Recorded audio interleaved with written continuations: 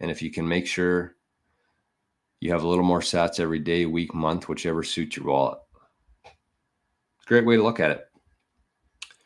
And something we talked about on the show last week as well is like, don't ever get complacent with things here. Don't be like, okay, well, I'm going to work really hard for the next year or two.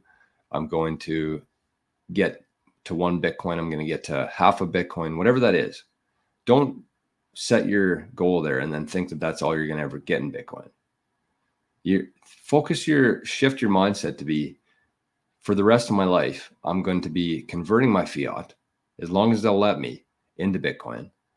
And I'm going to start working for and contracting work for, and my employer will probably be paying me in Bitcoin in the coming years.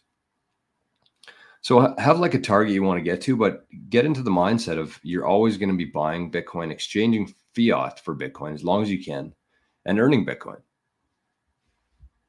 So don't make it like a a near thing where you just want to get to this and then you're done. Then you're going to go back into the fiat land.